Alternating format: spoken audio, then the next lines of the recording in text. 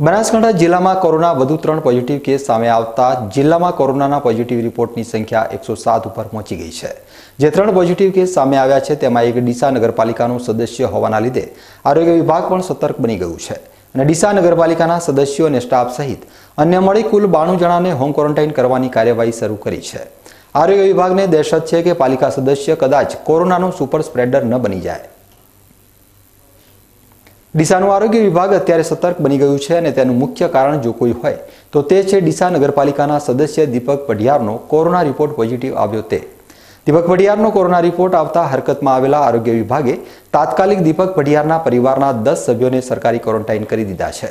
અને દીપક પઢિયારના ક્લોઝ કોન્ટેક્ટમાં આવેલા અઠ્યાસી લોકોને હોમ ક્વોરન્ટાઇન કરવાની સૂચનાઓ આપવાની તજવીજ હાથ ધરી દેવામાં આવી છે. દીપક વડિયાર તાજેતરમાં છવ્વીસ મેના રોજ ડીસા નગરપાલિકા ખાતે યોજાયેલી સાધારણ સભામાં હાજર રહ્યા હતા અને તેના લીધે સાધારણ સભામાં કોણ કોણ હાજર રહ્યું હતું તે બાબતની તપાસ શરૂ કરી. તેમને પણ હોમ ક્વોરન્ટાઇન કરવાની તજવીજ હાથ ધરવામાં આવી છે. ડીસા નગરપાલિકાના સદસ્ય દીપક ભડિયાર છેલ્લા ચાર દિવસમાં કોને કોને મળ્યા અને કોના કોના ક્લોઝ કોન્ટેક્ટમાં આવ્યા તે અંગે અત્યારે આરોગ્ય વિભાગ તપાસ ચલાવી રહ્યું છે. અત્યાર સુધીમાં દીપક ભડિયારના પરિવારના દસ સભ્યો મળી કુલ અઠ્યાસી જણાની યાદી તૈયાર કરી દેવામાં આવી છે. પરાગભાઈ પઢિયાર જે કોર્પોરેટર છે રાજપુર વોર્ડના, તેમનો પોઝિટિવ કાલે કોરોના આવેલ છે. તે અંતર્ગત જે કારોબારી જે એમની મળતી હોય છે નગરપાલિકામાં, તેમાં ચુમ્માલીસ સભ્યો જે છે એ મળ્યા હતા. સાથે સાથે પત્રકાર મિત્રો પણ હતા.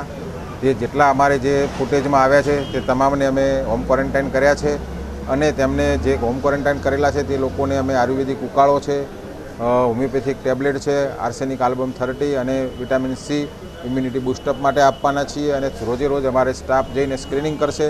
અત્યાર સુધીમાં બાવન પ્રાઇમરી કોન્ટેક્ટમાં હાઈ રિસ્કમાં મળ્યા છે અને બીજા લગભગ છસો કરતાં પણ ઉપરાંતના લો રિસ્કમાં પ્રાઇમરી કોન્ટેક્ટ મળ્યા છે.